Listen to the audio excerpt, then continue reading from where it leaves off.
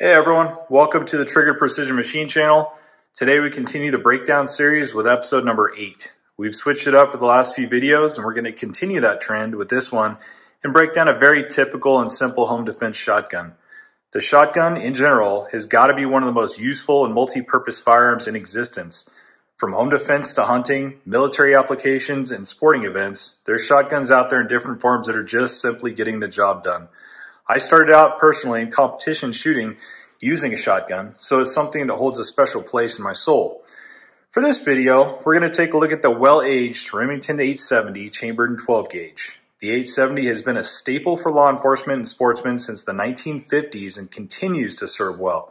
This specific model you're looking at is actually an 870 police model, which is available for civilian purchase and includes the 18.5 inch barrel and the factory scattergun technology ghost ring sights. So let's get started and break this thing down starting at the muzzle end. And up here at the muzzle end, you can get a closer look at the front sight post. It's factory installed, drift adjustable for windage, and it just gives you a simple post with a white bead for aiming. Below the sight, I have a two round extension tube that I added, and that gives me seven rounds of two and three quarter inch or three inch shotgun shells on board. So Remington has a bunch of different models of these floating around, and some of these models do come with this extension tube factory installed. Up here, you also see the Magpul barrel clamp, which not only serves as the forward sling attachment point, but it also supports the magazine tube extension.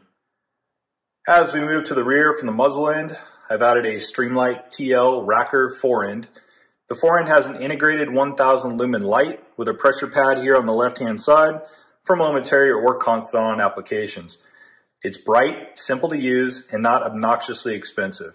There's some other great mounting options out there for lights, but this one just integrates so well for this shotgun, it's hard to look past. As we get back to the action, I have a Mesa Tactical six round side saddle. This one happens to be filled up with six rounds of Federal Tactical Flight Control double aught buck, two and three quarter inch. So there's hundreds and hundreds of options out there as far as shotgun shell selection goes. I've done a significant amount of testing with these, and I believe that these are the best choice for my personal application so your application may vary.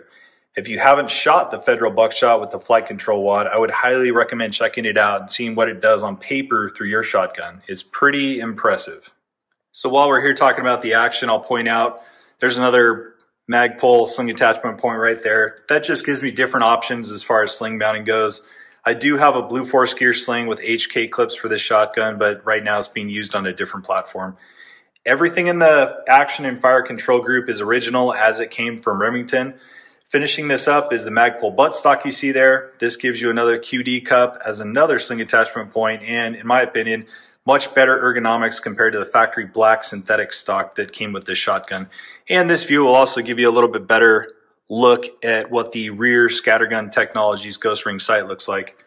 So that about wraps it up. Short and sweet. Hope you guys enjoyed it. If you like what you see, Please hit that like or subscribe button. Thanks again. I'll see you guys next time.